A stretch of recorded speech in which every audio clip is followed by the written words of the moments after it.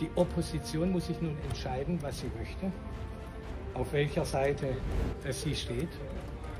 Das sind ja diejenigen, die von mir Transparenz fordern und die nun ein transparentes Handeln geißeln.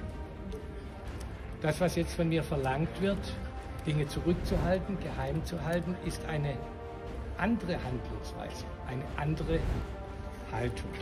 Und es ging und geht um nichts weniger als die Integrität der Polizei und der Sicherheitsbehörden in Baden-Württemberg.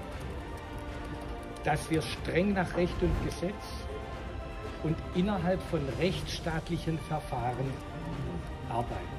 Und für diesen Kommunikationsfehler, der unterlaufen ist, nicht der eigentliche Vorgang, sondern der Nachgang, habe ich äh, die Verantwortung übernommen, selbstverständlich, und mich heute auch bei den Abgeordneten im Innenausschuss äh, persönlich entschuldigt. Und jetzt fehlt es mir nicht an Fantasie, dass dieses Schreiben dann öffentlich wird.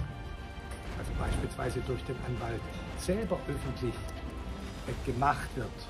Das habe ich dann einem in dieser Sache recherchierenden und höchst interessierten Journalisten, mit dem ich sowieso ähm, ein äh, Interview zu einem anderen Thema hatte, habe ich entschieden, ähm, ihm diese Information zu geben.